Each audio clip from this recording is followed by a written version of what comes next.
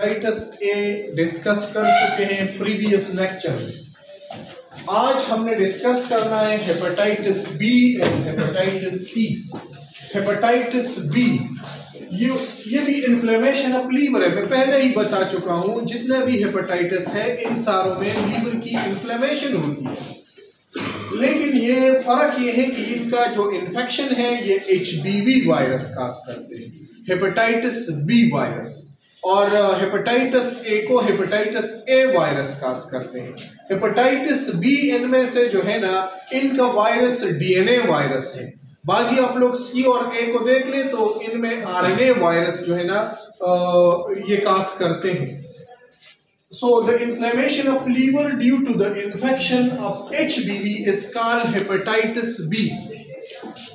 इसको कौन काज करता है? H B V hepatitis B virus hepatitis B virus DNA virus है। यानी इसके अंदर जो हेरिडिटी मटेरियल होता है, वो डीएनए होता है।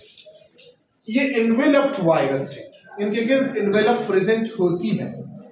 इनका जो साइज़ होता है इसी वायरस का, ये 25 से लेकर 40 नैनोमीटर तक होता है। और इनका जो इंक्यूबेशन पीरियड होता है चार वीक से लेकर, यानी एक महीने से लेकर ट्वेंटी वीक्स यानी पाँच महीने तक हो सकते हैं। यानी ये वायरस जब बॉडीज में दाखिल होता है तो ये पाँच महीने के अंदर अंदर हेपेटाइटिस बी के सिम्टम्स आना शुरू होंगे। अदर नेम इसके इसके क्या है? हेपेटाइटिस बी को सीरम हेपेटाइटिस बी कहते हैं। चूँकि पहले ये कंसिडर किया जाता था कि ये ब्लड टू ब्लड कॉन्टेक्ट से जो है ना काज होती है। यानी एक पैशन का ब्लड जो इन्फेक्टेड हो, वो दूसरे हेल्दी पर्सन के ब्लड से इनका कंटेक्ट आ जाए तो इस वजह से हेपेटाइटिस बी काज होती है।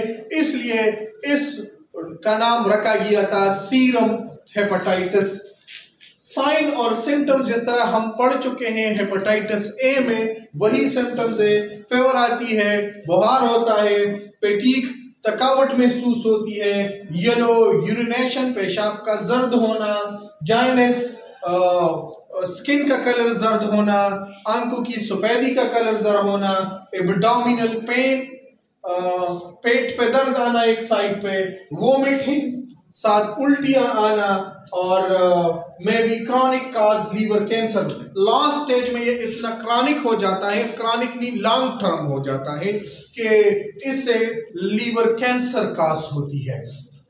इसकी ट्रांसमिशन को अगर आप लोग देख ले कि ये डिज़ीज़ कैसे ट्रांसमिट होती है तो ज़्यादातर ये ब्लड ट्रांसफ्यूजन से। एक बंदा ब्लड दे रहा है दूसरे को जिसको ज़रूरत हो। और उस पेशेंट उस बंदे को क्या हो? हेपेटाइटिस बी हो। बाज लोगों में इसके इतने सिम्टम्स नहीं होते। ठीक है ना? इस तरह स्लाइव ऑफ़ इन्फेक्टेड पर्सन वो पर्सन जिसको इन्फेक्शन है, उसके लगाव से वेजाइनल फ्लूइड फीमेल के वेजाइनल फ्लूइड से, यानी अगर ये डिज़ीज़ वाइफ को है तो इनसे हस्बैंड को हो सकती है सेक्सुअल कांटेक्ट से। टीयर आँसू से। यूरिन से चूँकि ये ट्रांसमिशन इनकी होती है।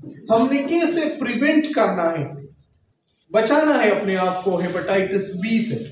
तो हमने हमेशा कंटामिनेटेड फ़ूड से, गंदी खुराक से, गंदे पानी से अपने आप को बचाना है। हाथ वॉश हैंड बिफोर ईटिंग खाने से पहले हाथ धोने चाहिए। Using and after using toilet और टॉयलेट के बाद हाथ धोने चाहिए। Don't keep sexual contact with infected people infected people जो है ना, उनसे सेक्सुअल कांटेक्ट नहीं रखना चाहिए। इसके अलावा लेजर रेजर्स हो गया टूथब्रश हो गया, और साथ साथ जो है ना नीडल्स वगैरह ये पर्सनल यूज़ करनी चाहिए मतलब है शेयर नहीं करनी चाहिए किसी के साथ।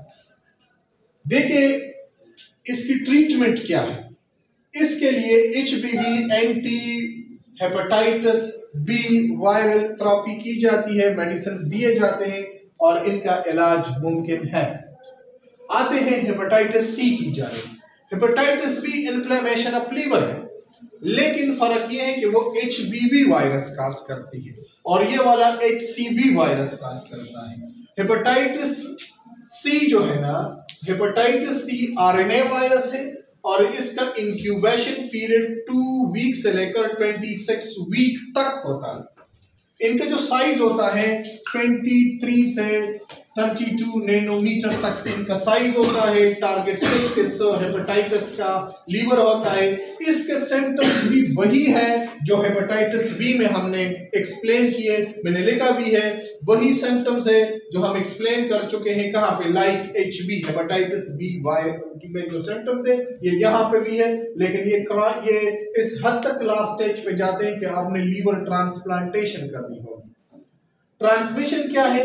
जिस तरह एच बी में हमने एक्सप्लेन किया हेपेटाइटिस बी में के ब्लड ट्रांसफ्यूजन से स्लाइवा से वेजाइनल फ्लूइड से इन्फेक्टेड पर्सन के रेजर्स यूज़ करने से टूथब्रश यूज़ करने से ये काज हो सकती है।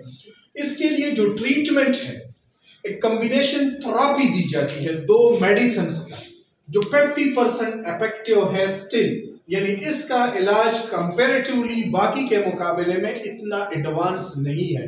क्योंकि अभी अब फिफ्टी परसेंट इंप्रूवमेंट आई हुई है, बाकी हेपेटाइटिस बी और ए का तो बगैर मेडिकेशन का इलाज हो सकता है।